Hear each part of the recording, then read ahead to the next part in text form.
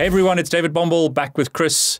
Chris, you recently passed a security certification, and I'm hoping that we could do a security video today. But firstly, welcome. Hey, it's great to be here, David. And wow, that's a way to, to come out the gate. So, yeah. what cert did you do? I went ahead and did the Certified Ethical Hacker, CEH. And I know, I know, I know, I know. There's a, a lot of different opinions floating around around that one. And uh, definitely we'll dig into that one. But I actually had a client. What happened is I had a client that went ahead and asked me to get it. And uh, they went and helped me out with that. So, um, boy, did I learn a lot, David. That said, the, the test is another thing but I certainly enjoyed getting into uh, a lot of different new topics for me, um, coming from a packet background.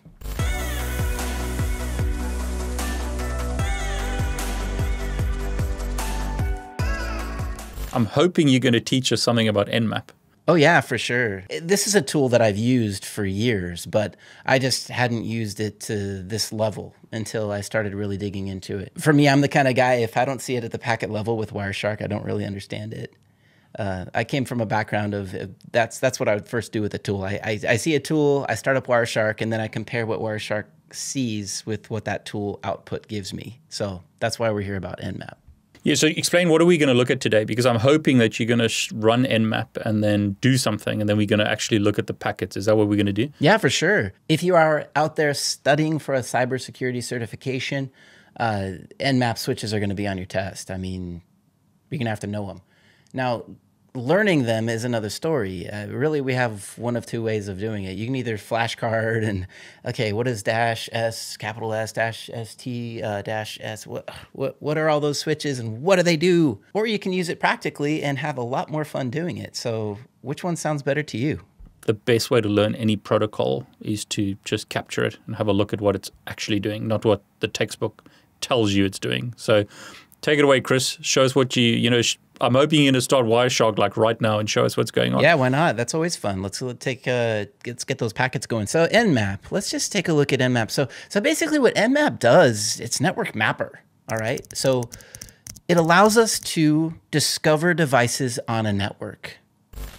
Why is that important? Well, how are we going to go in and try to hack a device or even inventory devices? I've used Nmap just scanning around my own network and taking a look at what's there and what ports are available, even doing like an internal pen test on myself. And Nmap allows us to do that. Now, there's a thousand switches with Nmap or options. And if you look through the, the actual help of Nmap, uh, there's a lot that it can do. And we can see some of those here, David. Uh, look at all these switches. So we have host discovery, target specification, scan techniques, port specification, looking at services, even enumerating operating systems. So we can take Nmap and we can launch it at a device and we can learn a lot more about the type of OS that that device is running. Why important? Because how can I find a vulnerability to then exploit if I don't know the operating system? Okay, so yeah, I'm hoping you're going to show us at some point. I, I believe that's in a separate video. We, we, we're going to cover that as well. Yeah. yeah, we'll get there. But first, we want to just talk about some basics and understand more yeah. about how Nmap works. So let's just do this. Now, like a question would be like, what's the difference between a, like a normal scan and a stealth scan? And uh, you know, there's a lot of options in Nmap. So hopefully, you're going to show us some of that. Yeah, for sure. So I think the two biggest ones are, I should say, maybe biggest is the wrong word, but uh, two of the ones that you're definitely going to be learning and using uh, have to do with TCP connections. All right, and you're going to find that there's two major ones. Uh, if we come here to scan techniques, you can see the first two here, SS and ST. So this is TCP SYN and connect. Now, those are different. There's a difference between TCP SYN scan and connect scan, and that's what we're going to really focus on today. Maybe in other videos, we'll get into Fin, Christmas Scan, and uh, some of these other ones, even UDP Scan. But for today, we're really going to focus on those first two. So does that sound like a good time to you? Yeah, I mean, it'd be good to know the difference. So yeah, hopefully you're going to like show us via the packets. Absolutely. So let's do this. First, I'm just going to say nmap, and here's the way to remember it. If it's a scan, then use dash s, lower s. There's your small s. And then the next letter that you use that's going to tell you the type of scan that you're going to do. Is it an ARP scan? Well, that's ARP. Oops, there we go. Bottom S. That would be an ARP scan. How about a UDP scan? How about a, a Connect scan is T? All right. So a lot of times you can just use the, the name of the scan to figure out the type of scan it is, a FIN scan. Um, now there's different reasons why you would use each one, and we'll build on that. But just to get this right out the gate, let's have everybody, if you don't have Nmap, then go get it and follow along with me here. You can just do Nmap, and you can just do, uh, let's just do a, a, a SYN scan. And I'm going to come over here. I'm just going to start this up here. Let's start up this capture. You can see a lot of our, uh, our, our our traffic going on here in the background. What I'm going to do is just just launch it. Okay, let's just grab a device and let's just see what we do. What I am going to do though, I'm just going to do dash F. There's a reason for that. That's just a it's a fast scan. It's only going to test the top 100 ports. The number of ports that are available, again, another test question that you might find, uh, there's 65,535 ports that TCP can possibly have open, right? So we don't want to have to just destroy a device as we're trying to scan it. Uh, let's just just be a little bit more simple with it. And we're just, oh, look at that. Sorry, forgot about my root privileges. Got to come back. I'm just going to do sudo because it does, a lot of scans require to administrative privileges on the system. So it's a lot of times you're going to have to do uh, sudo. So there we go. And let me just run this. One second, password. Are you running this on your Mac or on Linux? I'm running this on my Mac right now. The nice thing is that the um, the commands are going to be all the same, right? So if you're on Kali, uh, and really uh, even on Windows, I mean, you're going to find, except for the sudo part, you're just going to have to run your terminal as administrator. Okay, so if you notice here on my capture over here, and I'm just going to set a filter. If you didn't know, you can set a filter while you have a capture running, and that'll filter on just the traffic going to this device. All right, so I've got a device out here. I'm just going to stop my capture. I've got a device out here and I have TCP 53 is open. There's one open port. And then the other one is 1900 using the SYN-SCAN.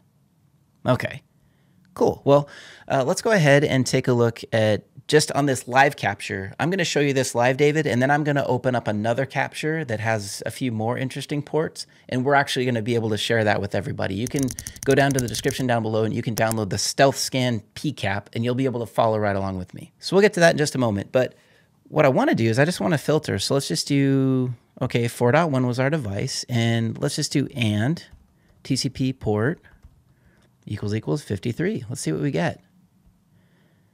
All right, so here we can see that here's our client. It established a connection or it sent out that TCP SYN to 4.1. That was our target. And we're sending this to TCP port 53. Well, seven milliseconds later, we get a SYN ACK back. But notice what happens right after that. Our client says, nah, let's reset. This is known as a half open scan. The reason is because we only have half of the connection open. A TCP connection is not open until you have sent a SYN and you have received an ACK for that SYN. So as a client, I got my ACK. So I sent my SYN and I got the ACK for that SYN. But the server sent his SYN. I never sent no ACK. I just went, nah, reset. So that's why it's called half open. Now in Nmap, that type of scan is called a stealth scan right? So SS. Okay, so so that's uh, any port that is open and available is going to respond with that SYN ACK. If it's a port that is not open, let's go ahead and try port 80. This is what we're going to see. I send out my SYN, and I got a reset ACK back. So this one's closed. The server reset it because we it doesn't have that port open, yeah? Correct. When you hit a port that is closed, Sorry, talk to the hand, reset. Yeah. All right. So and that's how Wireshark knows that the ports are open. Sorry, not Wireshark. That's how Nmap knows that the ports are open because it's getting an ACK. Correct. When I send a SYN and I get a SYN ACK back, that port is open. Simply, let's just call that the, the stealth scan. Now, let's think about this though. Why would this be called a stealth scan?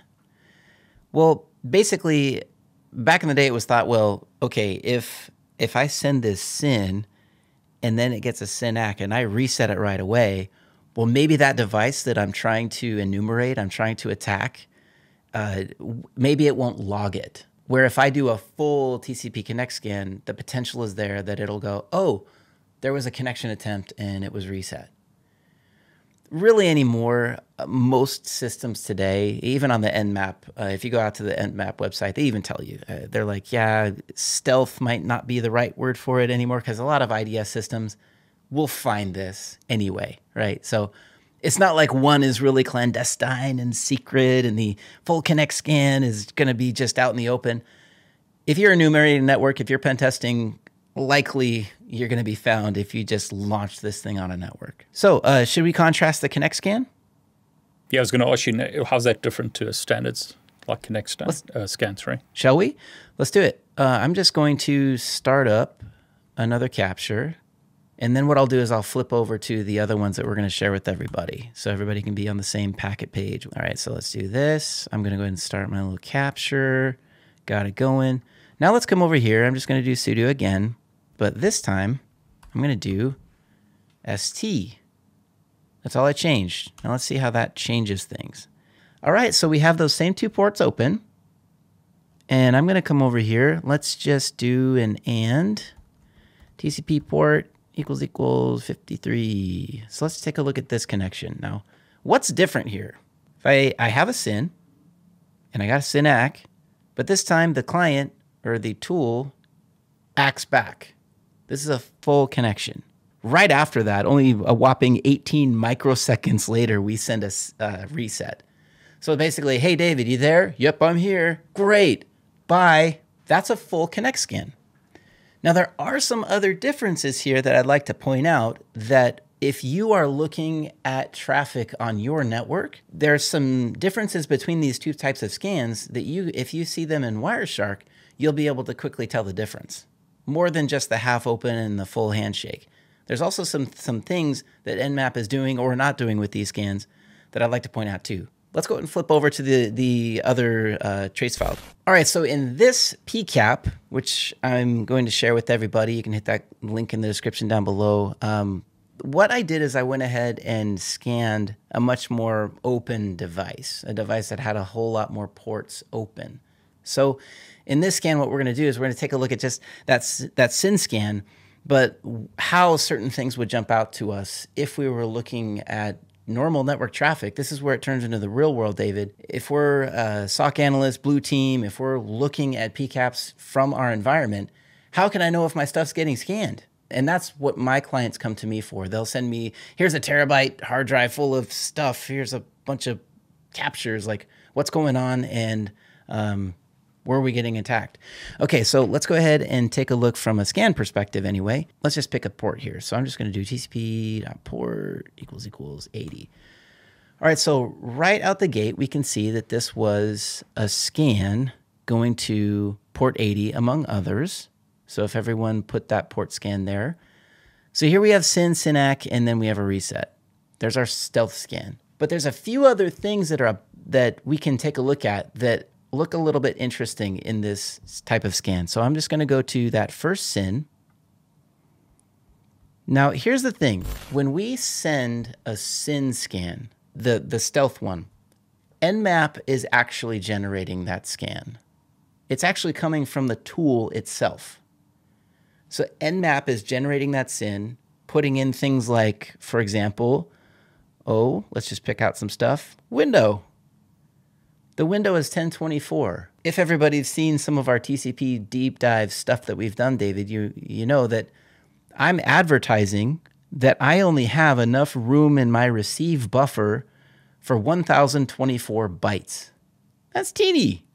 Okay? So that's something that might catch my attention. Something else, if I look at that SYN, if I come down here to options, the only TCP option that that the Nmap stealth scan is offering to the other side is an MSS. In the real world, when you're looking at true TCP connections, true SYNs that are happening, that's not the case. You're going to have a lot of TCP options. You're going to have things, you're going to see stuff like uh, timestamps, and you're going to see window size and selective acknowledgement, SACK.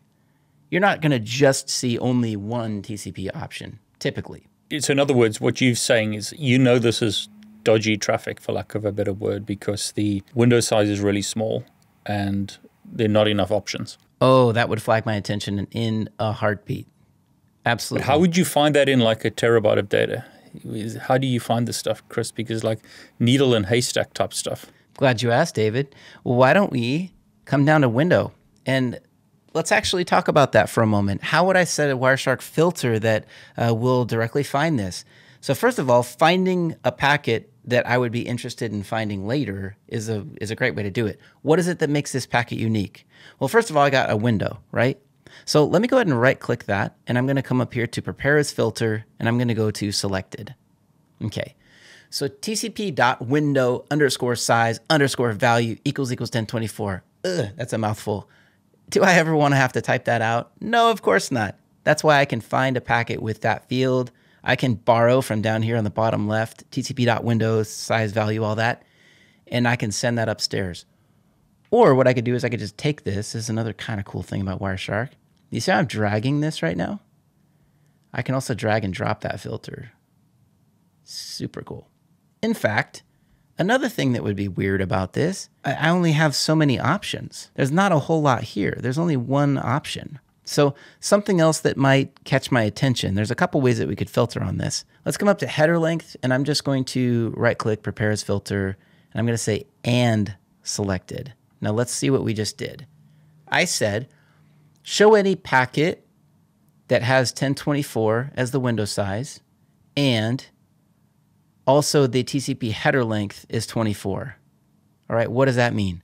Well, basically the TCP header without any options, without anything else going on, is 20 bytes. You've got your source port, destination port, sequence numbers, acknowledgement numbers, flags, window, all that stuff, right up to urgent pointer. That's the last part of the 20 bytes. After that, if I have options, there's some extra stuff. If this isn't the beginning of a handshake, which by the way, let's not forget that we need, need this to be a SYN, right? So Let's go ahead and right click flags as well.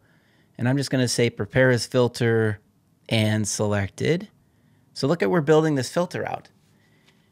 If this is a SYN, which is flags, what I'm doing is instead of just focusing on that individual bit of a SYN, I'm saying take that whole flags field and the only bit that will be set is SYN. If I say SYN, if I do this another way, if I say tcp.flags SYN equals equals one, that's going to get SYNs and SYN-ACKs. I only want the SYNs. Let's go ahead and back up. So I'm just saying flags as a whole. Here's the hexadecimal value. And if you look sideways down here, that's for the, the hexadecimal people out there. I've got 0, 0, 0, 0, 1, 0. That's a 2. That's why it's 0, 0, 2, right? So I just want that SYN location to be 1. That's why my flags are 002. So let's see what we did with this filter. This is only SYNs. This is SYNs that are advertising a TCP window size of 1024, and that header length is only going to be 24 bytes. Now let's talk about that for another moment. The header length. Again, TCP is going to have a 20 byte header. And at the beginning, if there's a lot of different options, that header length is going to be much larger. It's going to be another 20 bytes or so. So this would catch a stealth scan. Is it always 24 on Nmap? Or is it like, can you change that? Or is that just the default, yeah? For the stealth scan, tell you what, why don't we test this against a couple other packets? Let's actually apply this thing. All right, so I got a thousand packets. And I know for a fact that I sent a thousand when I did this scan. I did it with the thousand most common ports. Right there, I'm able to see um, that it caught everything. And you just did like a, a stealth scan like we did a, a, few minutes ago with no, you didn't specify anything else. So that was just the default values. Correct. If I want to, I can come over here and this is probably a, a, a good way to actually show it so we learn it better. Um, if I do dash P, that's for port. And right after that, that's where we can specify, do we want specific ports? Do we want uh, a range of ports? If I want to be specific, I can say 1 to 1000. Or let's just say um, if uh, if we don't leave this, then what it's going to do is it's going to try the top 1,000. It's going to say these are the most common ports. If I don't want a thousand, if I want to run a little faster, that's that dash F. It's just going to do the top 100. Yeah, what's interesting is that it's using like a window size of 1024 and the TCP header is 24. So that's a, just looking for 24 byte header is an easy way to see if someone's scanning your network unless they've made specific changes to try and hide what they're doing. Exactly. That's the and that's the thing. You know, when we're talking about cybersecurity, it's hard to make absolutes. All, all an attacker would need to do is change this to 25 bytes. How did you discover this? Is it just you were looking through data and then suddenly you thought, well, this just looks weird?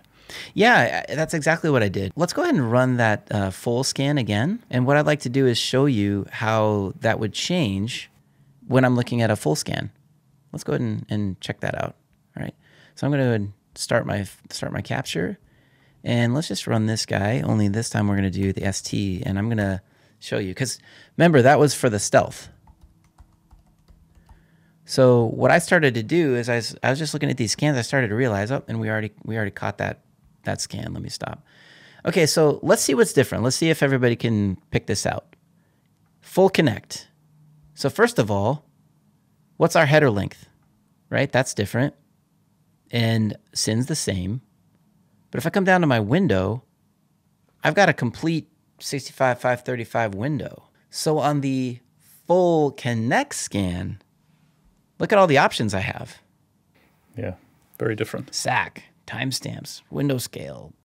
And that's more realistic for proper traffic in the network. Exactly.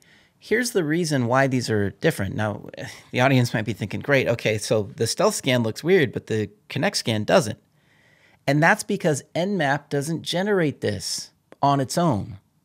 What it does is it issues a connect call down to the operating system kernel stack and it says, hey, you, TCP, you generate this connection. I'm not going to do it as a, as a tool. I want the actual That's interesting. Yeah. operating system to do it. That's why this SYN looks so much different because the the true OS stack is the one that actually generated this, and that's why it looks much more real.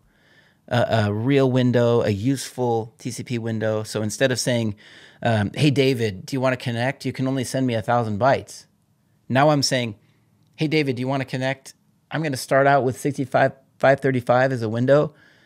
By the way, you're going to be able to multiply that bad boy by 64. So we're going to have a big, cool bucket of data to work with right? That's that's why that caught my attention when I was uh, when I was looking at those stealth scans because this was so low. I mean, in in some ways, the stealth scan is less stealthy compared to this, isn't it? To me, yeah, I would catch it way faster yeah. than I would this, for sure. Yeah. Is there anything here though that looks weird? Was it just because you see? How would you catch this?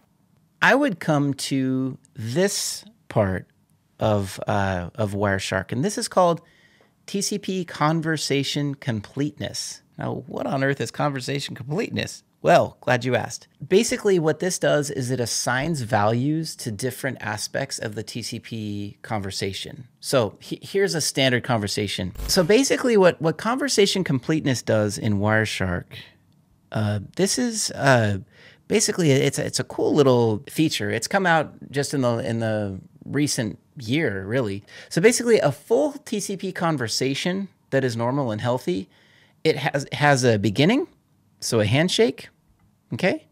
And the first packet of a TCP handshake, everybody, is SYN. Good job. All right. Yes, you got a gold star. Thanks. All right. I can't believe I'm giving David Bombal gold stars. Anyway. Yeah, no, I know nothing. I know nothing about this. okay. All right. No. Yeah. No. A lot of things. Okay. How about the second packet, everybody? What's that one called? Yeah, come on, SYN-ACK. Good job. Okay. Here we go. And whoops. All right. Da, da, da. Flushed out. All right. Last packet is ACK. Good job with our handshake. Okay. We've already seen this in our um, our Nmap scan. Okay. So there's our handshake. So a connection began. Data gets exchanged. Okay. Acknowledged. Okay. And then this connection gets shut down. So uh, this could happen any any way, either through a fin or a reset. Okay, so let's just say I'm just going to shorten this out and just call this fin. Okay, this is a complete conversation in TCP, so called. All right. Now, what Wireshark does is it is it assigns values to each one of these functions. SYN. This gets a little deep, and we're gonna actually I'm gonna link the Wireshark page and the actual um, information or the the uh, wiki where it talks about each of these values, but we'll just go over it together. So basically, the SYN gets a value of one, SYN-ACK gets a value of 2. The ACK gets a value of 3, or of 4. This is binary. Okay.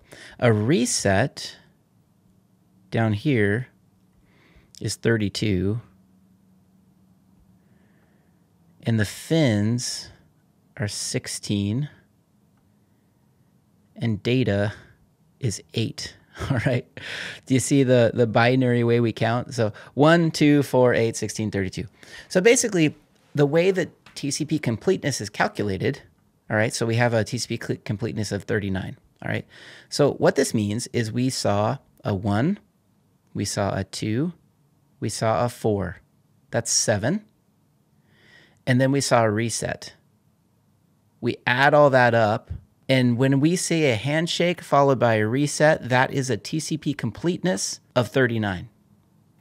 Yeah, so no data sent, yeah. And that's why it says no data. Yeah. yeah. So in this case, that's weird, isn't it? Oh boy. yeah, well, I mean, it means um okay, does this happen in the real world? Yes, it does. Does it happen often in the real world? It shouldn't. If I said TCP completeness, and this is where I would do this, Dave, this is where I would look a little closer.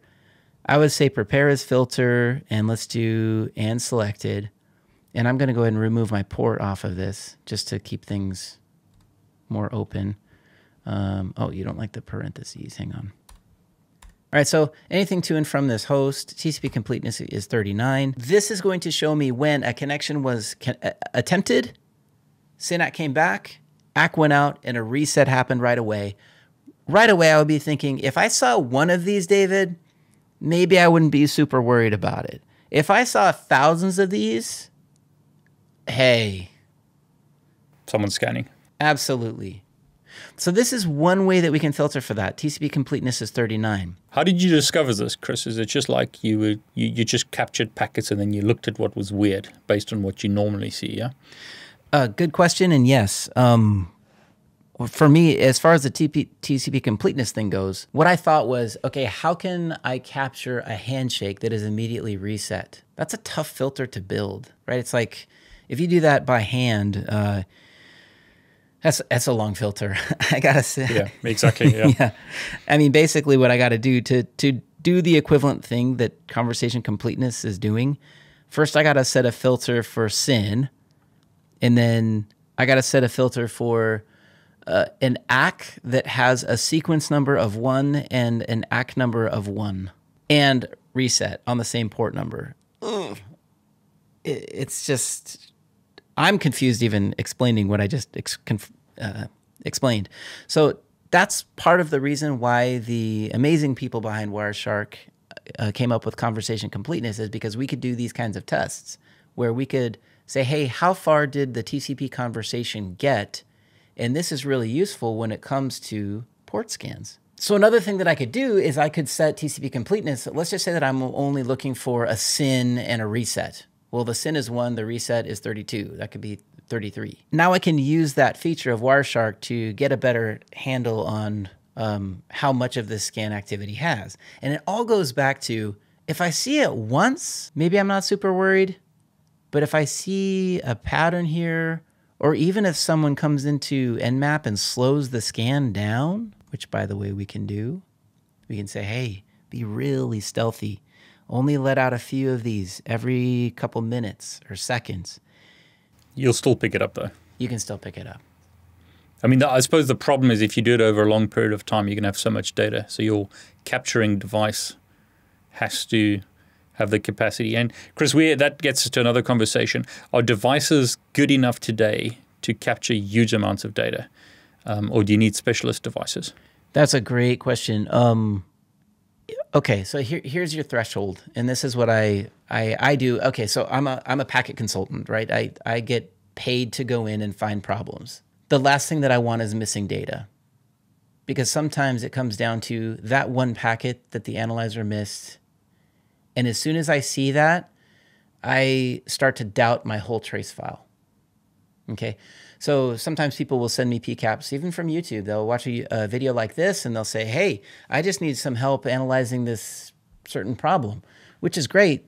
They, they can interact and send a PCAP. And right away, if I see a previous packet not captured, or if I see symptoms, if it almost looks like false retransmissions, which it does take some time to learn how to identify that, which you and I can continue to to chat about. But the point is, if I have, uh, I call it dirty data. if I, if my if my data is missing, then I start to question my whole uh, PCAP. Right? I, I, packets are the gold Yeah, it's unreliable. Yeah. It's unreliable. Yeah, it's unreliable. So your question was, how well does does uh, hard, hardware keep up? Well, I think everybody knows that a laptop, Wireshark with a laptop in normal data center world, it can't keep up with super high data rates.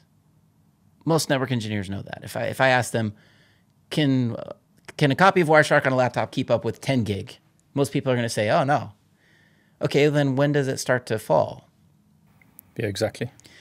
My benchmarking shows that most of the machines that I have had and done my best to optimize, I'm I'm not able to accurately capture timestamps and everything much over 100 megabits per second. Oh wow, that's low. Yeah, slow. When you go to site, do you have a laptop or what do you do?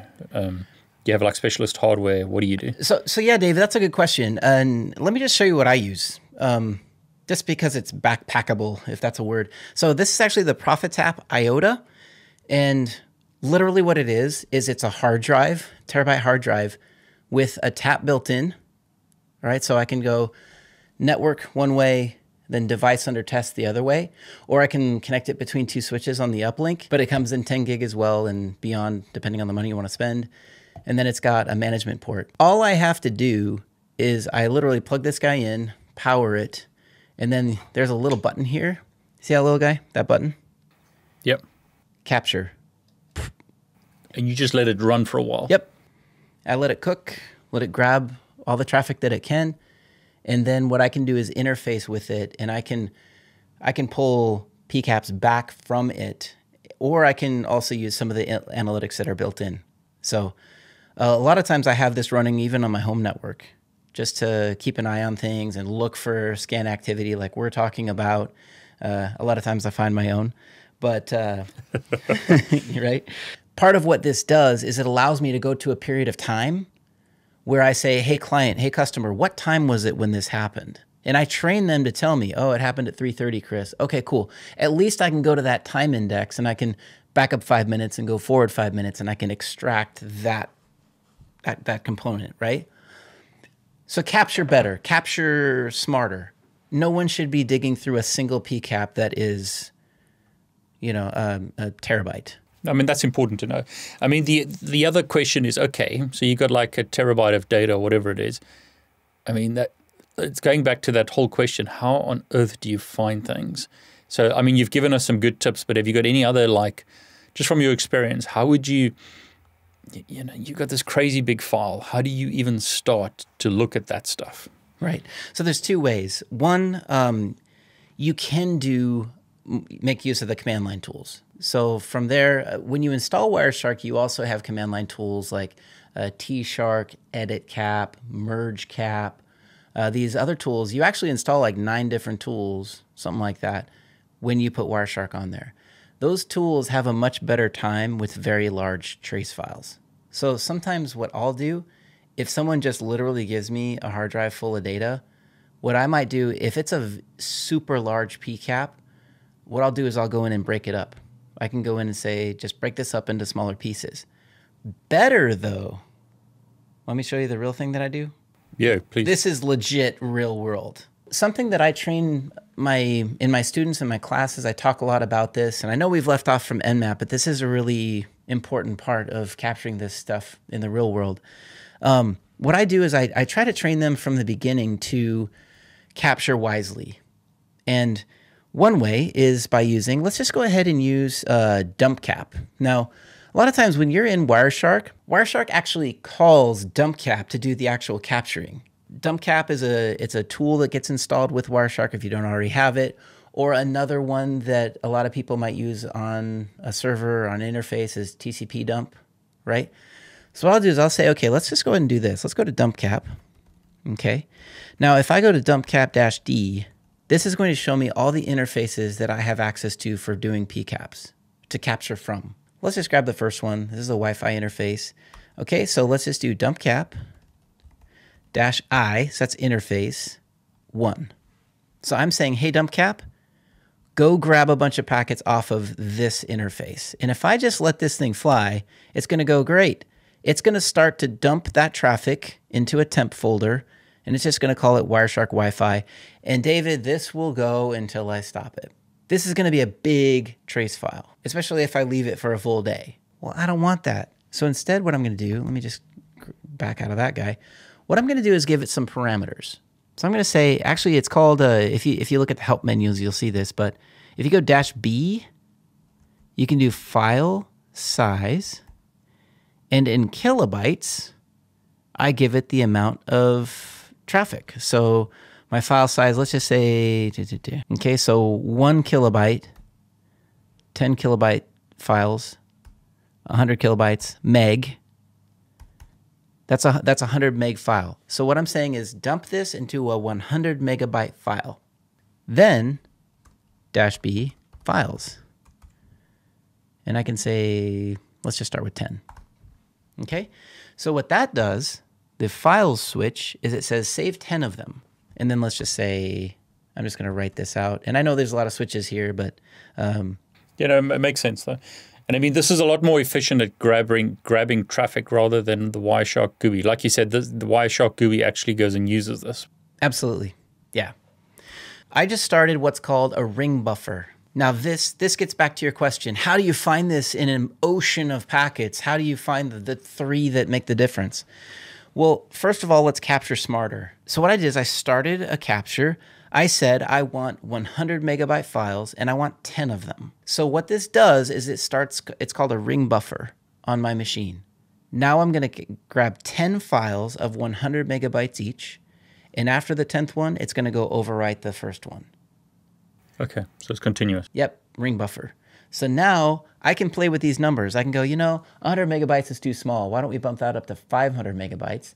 And I got some I got some horsepower to work with on my hard drive. So why don't I go ahead and up this to 100 files? And that'll give me more time. Point is, David has a problem and he goes, Oh, that weird thing happened that I'm troubleshooting. Or things look kind of funny.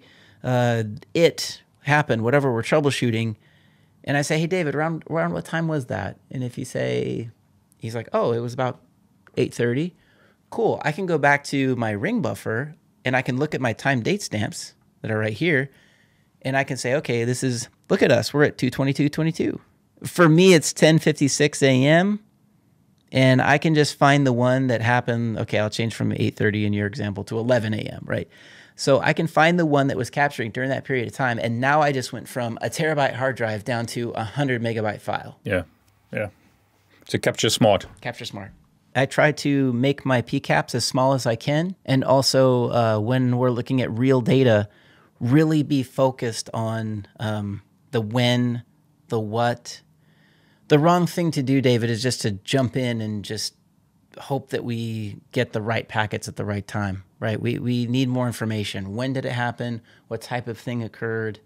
And when we're doing cybersecurity, open captures like this just it's a lot easier and more digestible when we're dealing with these smaller PCAPs. I remember the you know doing a lot of network network troubleshooting. The hardest problems are the transient, uh, like weird things that just happen seemingly randomly. It's so hard to try and troubleshoot that stuff. So I like what you're doing, you know, like let it run. You know, if this is running continuously and just overriding itself, then you know the I'm you, you correct me if I'm wrong, but like the client's running this, and then when something happens, they can call you. Okay, it's happened now, or you know they can try and give you a, a, time when it happened that day, and then it gives you time to go back and look at actually what happened at that time rather than just trying to guess. Absolutely. In fact, let me show you one one other thing that I do. I'll get this this capture going either locally on their system or somewhere on the network off of a span port, a tap. And what I'll do is I'll come in and imagine this is the user's machine. Okay, this is I just have a test copy of Windows running. Here's a VM. Um, but what I'll do is I'll go into their system and I'll say, okay, uh, let's go ahead and just do new. Let's just do a shortcut. And I'm literally just going to type in my personal website. Okay. www.packetpioneer.com. Okay. The reason is because it's unlikely that that person, that end user that I'm trying to resolve is just going to go out to my personal website. That's an unlikely thing to happen. It used to be that we would do this with Telnet. Um, back in, you know, when Telnet was just a, it was a part of a standard tool set that was still on Windows. People didn't use Telnet because it's open and you can see the traffic that's actually happening. You can grab passwords and things. But now SSH, people are doing that through PuTTY and such. What I just need to do is I just need to find something to trigger on, right? So what I do is I name this, it happened. Okay? I put that right over here on their desktop. And then I say, David, go about your business, do your work. And then the next time it happens, just go double click that and it'll go out and it'll go to my website. What does that do? Well, now I can stop my capture. And this is a great little example here. And let me, gotta find where that file went. Think it's just on my root. There we go. Yeah. Okay, so now I'm back in Wireshark, right? So I've got a ton of stuff here. I've got 100,000 packets. How do I find the one where it happened? Yeah. It happened, right? So let me just do frame contains packet pioneer. And I'm going to get all the packets that contain that name. Now I'm I am Packet Pioneer, right? So, but I could see, uh, I actually tested this once and here we have it again. So usually you're just going to see right here, now I have a, a, bookmark. Now I've got Packet Pioneer. This is where this was actually generated. And um, we, I can now look around that period of time in the PCAP and that's, that allows me to set other filters for when it happened. That's great. So in other words, you, you find the timestamp just off that like marker, and then you can say like five minutes after that or but 10 minutes before it or whatever. Yep. Then I can come up here to view, time display format, time of day, and now David said it happened at 1103 and he hit the it happened icon and now I have two bookmarks. I have a, a period of time, but just in case my time sync isn't correct on the, the capture device, now I can know also from the packets themselves he hit the it happened icon. That's brilliant. But I mean, anything, any last like parting thoughts about tips that you've got from the real world? I mean, we started with Nmap and we kind of like morphed into like real world, real world stuff. But I think it's important because you like highlighting what's weird on networks. Um, any other quick tips before we wrap it up? Yeah, I think uh, for me, I don't get something until I see it at the packet level, especially getting into cybersecurity. Um, it, with with those that are at, if they're new to cybersecurity or if they're learning how these tools work, Wireshark is a great way to have that open and get that thing capturing while running these tests. Don't do that thing where you just become um, you're just generating a tool or you're using a tool and hitting a button and then watching some output that you don't understand.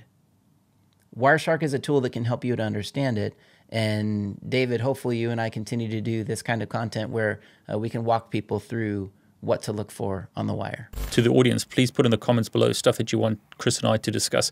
I mean, the good news, Chris, is we we we're planning to do a whole bunch of videos, um, and I think we want to cover as many protocols as we can. I want to twist you to get back for more TCP deep dive stuff, UDP deep dive, and some other protocols. So, yeah, there's a lot to cover. Chris, really want to thank you, you know, for sharing your knowledge for free really appreciate it. Thanks for having me back, David. I always enjoy hanging out with you and, of course, everybody who watched too. Brilliant. Thanks, Chris.